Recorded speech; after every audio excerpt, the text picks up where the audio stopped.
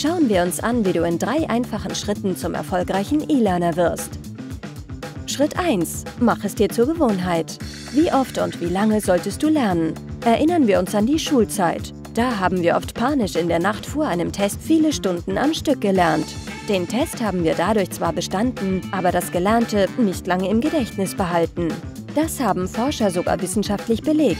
Ärzte, die eine chirurgische Methode in vier Stunden Workshops lernten, schnitten schlechter ab als ihre Kollegen, die über vier Wochen jeweils eine Stunde lernten.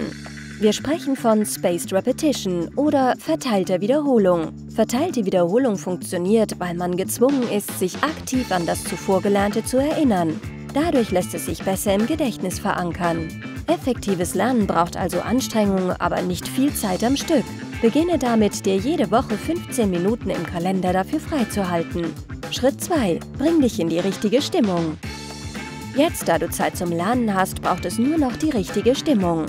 Und wir sprechen hier nicht von Tee, Kuscheldecke und Couch. Unser menschliches Gehirn braucht ein gewisses Maß an Stress zum Lernen. Bereits 1908 wurde das in einem Rattenexperiment bewiesen und ist seitdem als Yerkes-Dodson-Gesetz bekannt. Ist unser Erregungszustand niedrig, werden wir unaufmerksam. Ist er zu hoch, bekommen wir Panik. Nur in einem mittleren Erregungszustand können wir Höchstleistungen erbringen. Mach es dir also nicht zu gemütlich. Setze dir selbst Deadlines oder finde einen Lernpartner, der dich fordert und motiviert. Schritt 3. Lerne in Sinneinheiten. Wusstest du, dass dein Kurzzeitgedächtnis nur eine begrenzte Anzahl an Informationen auf einmal verarbeiten kann? Kannst du dir deine Kreditkartennummer am Stück aufsagen? Ziemlich schwierig, oder? Aber wenn du die Nummern zu größeren Zahlen zusammenfasst, kannst du sie leichter wieder abrufen, weil du dir weniger merken musst. Dieser Prozess nennt sich Chunking. Konzentriere dich beim Lernen auf kleine Sinneinheiten, um mentaler Überlastung vorzubeugen.